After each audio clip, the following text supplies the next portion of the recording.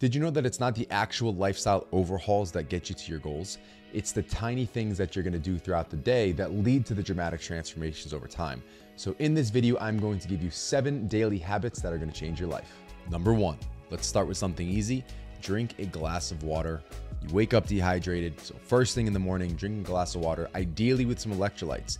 Now, if you don't have something like an LMNT packet, you could just sprinkle a little bit of sea salt in there to allow for that additional electrolyte balance. Number two, prioritize a balanced breakfast. Now, a lot of people overlook the importance of that first meal of the day, but the truth is, if you have something satiating, so balancing proteins, carbs, fats, plenty of fibers and nutrients through you know, fruits and through uh, grains like oatmeal or an Ezekiel bread, for example.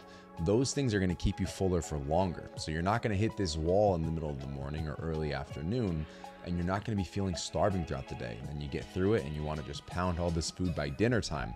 The key is starting by balancing your blood sugars with a balanced breakfast, and that will carry you through the rest of the day. Number three, move your body. Aim for at least 30 minutes of physical exercise on a daily basis this is a starting point, and that can literally just be going for a walk at lunchtime if you have no other time to do anything else.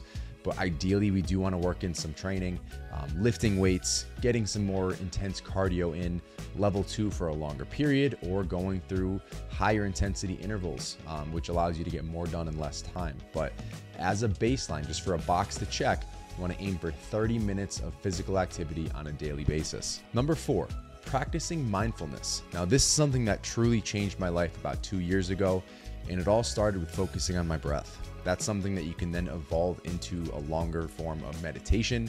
Um, but if you can just follow your breath for a minute, for two minutes, for three minutes to get started, you can do it in a quiet room, you can do it in the middle of a construction site.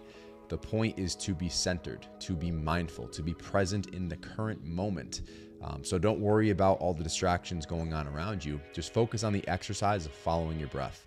You know, if you want to just focus on breathing through your nose, in and out, feel that breath all the way in, feel it all the way out, feel it coming in from the tip of your nose, and just focus on that.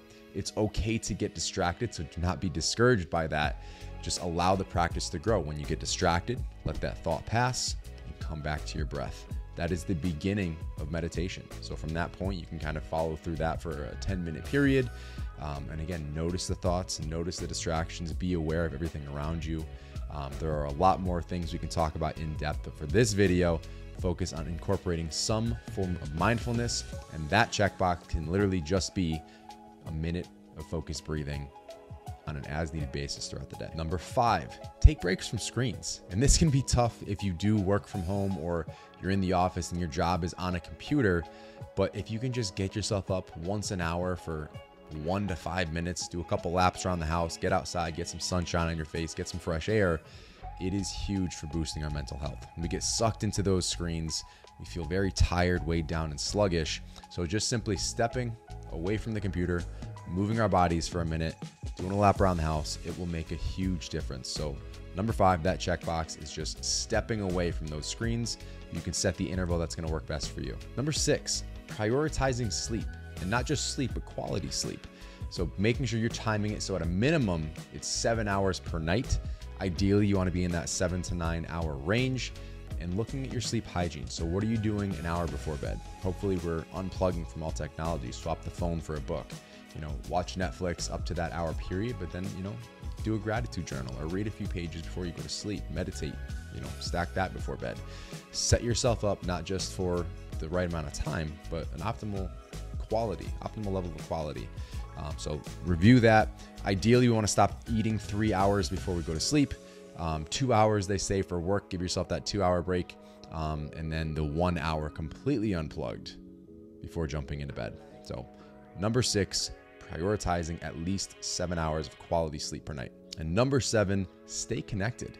This is something that is very easy to overlook as you get lost in the busyness, as you have kids, as you have these work projects coming up. But you have to stay connected to that community. And even if that's just your parents, just your siblings, you know, a very small, close knit group of friends, um, don't let that fall to the wayside. It goes a long way, not just for mental health, which it does have a huge impact on, but your, for your physical health. This is something where you actually boost your immune system by reducing stress levels. You allow for more parasympathetic dominance versus sympathetic nervous system dominance, where fight or flight sympathetic uh, rest and digest, parasympathetic. And that's where all of the healing takes place. Um, that's where a lot of good things happen in recovery. It's the parasympathetic taking over from the sympathetic nervous system. So staying connected, laughing, being with friends, having that break, you know, stepping out of the grind and just appreciating being with your people.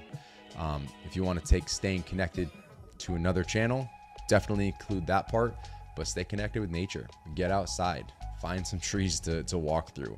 Um, we've talked about forest bathing in another video a couple different times, but it's a huge component to our mental health, to our physical health. Again, reducing those stress levels. So, number seven, that's the last one. Stay connected to your community and to nature. So, guys, if you're able to incorporate these seven simple habits into your daily life, you are going to notice a massive improvement in your overall health.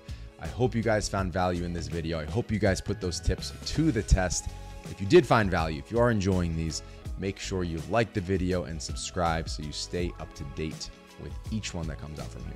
I appreciate you being here. We'll catch you in the next one.